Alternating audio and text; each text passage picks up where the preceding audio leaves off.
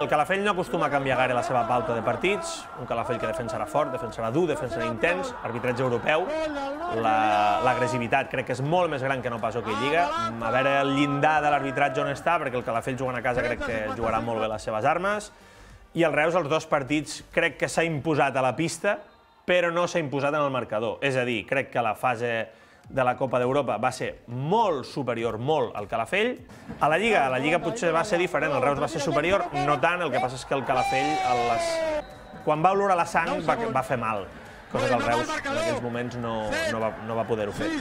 Serà un partit igualat, serà un partit amb, de moltes emocions, un partit on, on el que s'aconsegueixi imposar, crec que, que aquesta victòria-derrota pot valer doble, i ja no parlo d'aquesta lligueta, sinó el desenllaç de, de la temporada.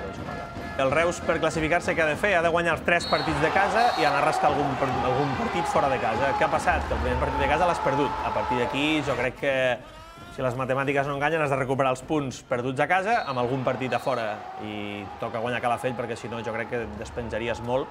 Havent perdut sis punts amb un grup que serà molt car aconseguir les victòries, el Reus ha d'anar a guanyar Calafell sí o sí com, com la primera gran final de la temporada d'aquí fins al juny.